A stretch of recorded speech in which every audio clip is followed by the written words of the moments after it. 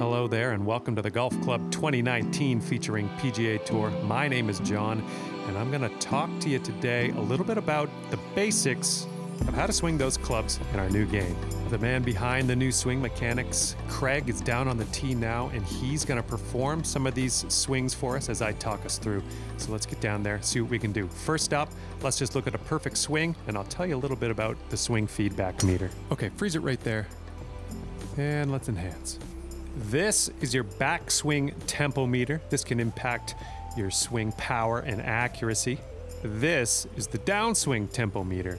Deviating from perfect can add draw, fade, hook, or slice to your shot. And here is your swing plane. Maintaining a straight swing stick input on both the backswing and downswing is crucial to keeping your shot on target. So remember to keep your swing tempo within those windows as indicated on the meter and keep your swing plane straight as you move the stick back and forward. To start your swing, pull back on the swing stick and then push forward. If you're too fast in your backswing, as he was here, it's going to penalize you in the accuracy department. Depending on how fast that backswing was, it can really uh, amplify any mistakes you made in your swing plane. On the other hand, if you have a slow backswing, as he's going to do here, you're not going to get all the distance that you really deserve in a golf shot. As you can see here, he's going a bit short. If you have a fast downswing, that's going to close the club face up. And if you're right-handed like he is, that's going to pull your shot to the left. Also undesirable. Alternatively, a slow downswing is going to open up that club face. And for Craig, being a right-handed golfer, he's going to go to the right. And also worth noting, the farther away from the ideal tempo window, as indicated in the in the meter, the farther away from that, the more drastic the effect will be to the left or right. And speaking of going left or right, this is a perfect time, I think, to talk about the swing plane. So let's get into this section of the tutorial now. We're not talking about tempo anymore. We are just talking about how straight back and forward you can move that swing stick. Okay, he moved the swing stick a little bit too far to the left in his swing, and you can see that indicated in the swing plane section of the meter. Now take a look as he swings outside to the right. You can see the line that gets drawn. That is your exact swing input, and it is falling outside of that swing plane, and that's not good, Craig. Okay, let's keep talking about the swing plane, but more from a shot difficulty perspective. I'm going to get Craig to cycle through some of the different shot types that you can take.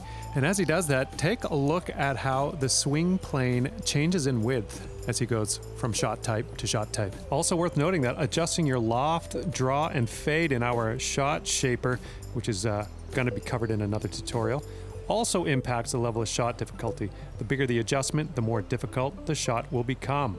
The lie of the ball also has a lot to do with your shot difficulty. Take, for example, this lie in the fairway versus a lie in the sand trap. You can see the swing plane shrinking into oblivion. That's not a pretty scene. All right, up until now, we've been taking full swings in this tutorial, but you know, when you're making those approach shots, a lot of the time you got to dial in a partial shot. So we're going to show you how to adjust your shot power now.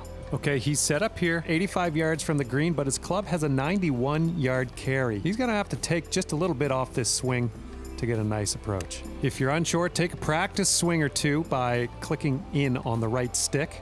And to take the partial swing, you're gonna have to bring that stick back slower than you normally would. And uh, this is tough to explain. It's all about feel. I highly recommend taking a few practice swings. And Craig's hit a beauty here, 95% power, which is just what the doctor ordered. Don't think you're going to be hitting the ball like Craig straight out of the gate.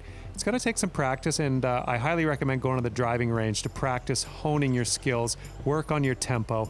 Start with the beginner difficulty clubs, and uh, before you know it, you'll be shooting just like Craig.